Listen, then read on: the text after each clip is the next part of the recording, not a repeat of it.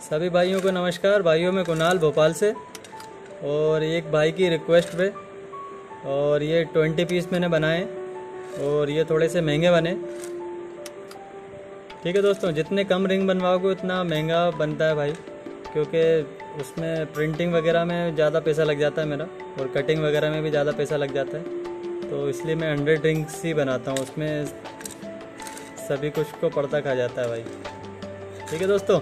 ये उन्होंने अपने ब्रीडर कबूतरों के लिए बनाए हैं, जोड़ों के लिए। और हर नंबर का दो नंबर उन्होंने बनवाए। जैसे चार के चार चार के दो, और ये, जैसे दो नंबर का दो।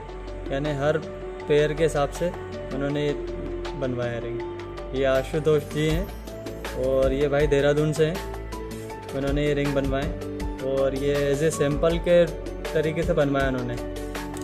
और अगर उन भाई को अगर पसंद आएँगे तो ये ब्रीडर कबूतरों के और बच्चे को, बच्चों के लिए सारे रिंग बनवाएँगे भाई मुझसे तो ये थोड़ा सा महँगा बनाया ये।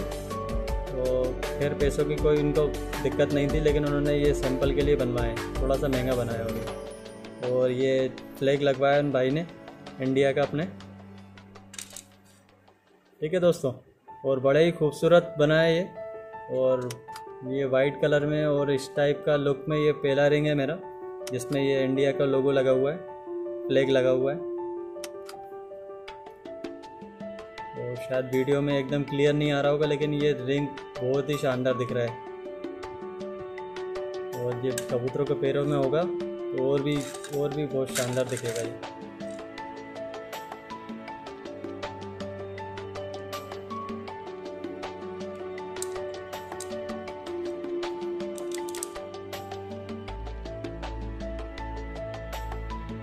ठीक है आशुतोष जी?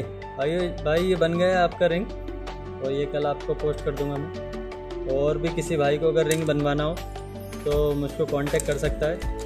और मेरा नंबर ऊपर की तरफ़ स्क्रीन में आ रहा है। मैं कुणाल भोपाल से बोल रहा हूँ। ठीक है भाइयों, नमस्कार। फिर मिलेंगे नए रिंग के साथ में, नए किसी लुक के साथ में।